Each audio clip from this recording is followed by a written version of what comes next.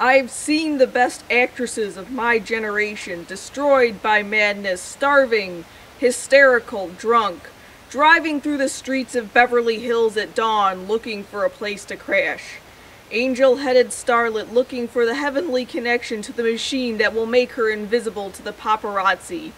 Who riches and designer clothes, hollowed out and high, sat up smoking in the whirlpool of clubs like Bungalow 8 and Hyde, going past the crowded velvet ropes contemplating ecstasy.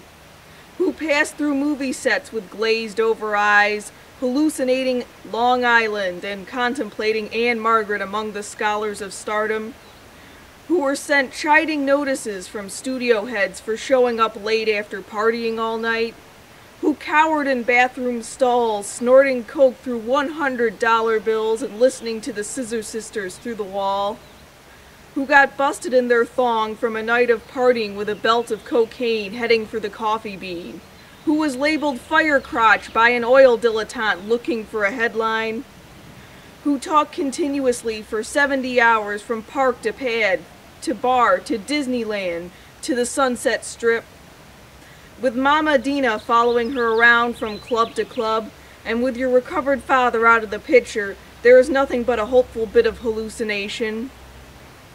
Wonderland and promises, luxurious halls moan with the sound of incoming patients in the throes of detox.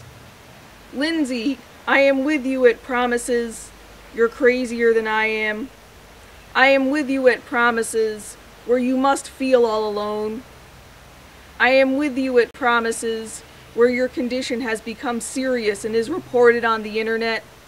I am with you at promises, as you scream in hysterics in group about a slut named Paris. I am with you at promises, where your crotch of fire can now face oxygen. I am with you at promises, where you now have the freedom to plan your escape from Mama Dina.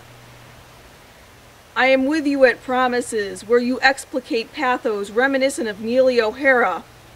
I am with you at promises, where in my dreams you shed the rancid snakeskin of your past and allow yourself to become the artist you were meant to be.